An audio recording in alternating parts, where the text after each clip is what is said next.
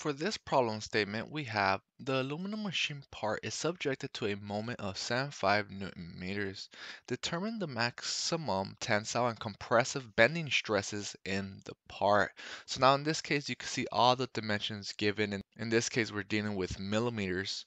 And we have this bending moment that this beam is experiencing. Now the cross section of this one, of course, is a little bit more complicated, which will require some more calculations. And we have the neutral axis here drawn. Now when it comes to first solving the neutral axis, because it's going to be important when we utilize um, the bending stress equation, let's go ahead and name this y bar. From the bottom, y bar is this value.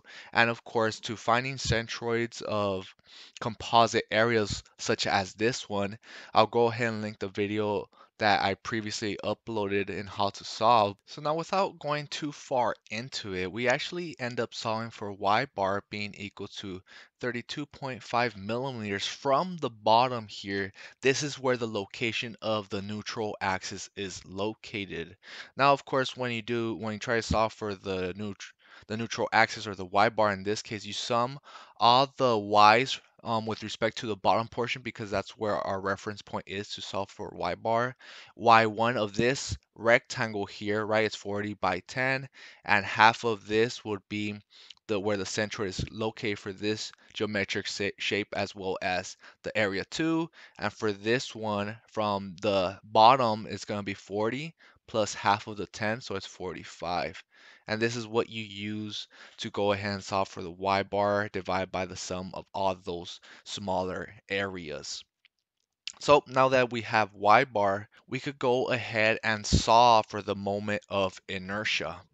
Of course, in this case, we're going to be applying the parallel axis theorem because we're going to be solving for the moment of inertia of each of these smaller areas, but of course, it's going to be with respect to the neutral axis, which is why we're going to be applying the parallel axis theorem.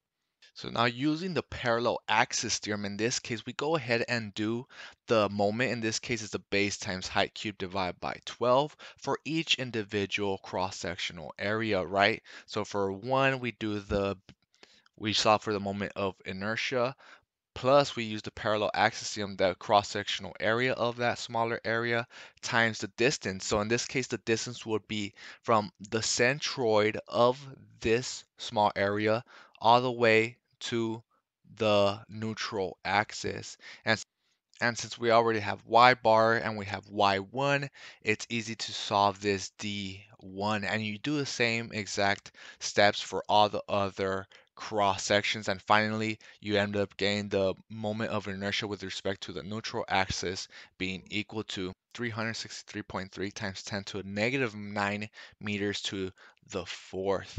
And this is another one that we're going to be using. Now for the actual equation of bending stress in this case let's go ahead and do solve for the stress at the top.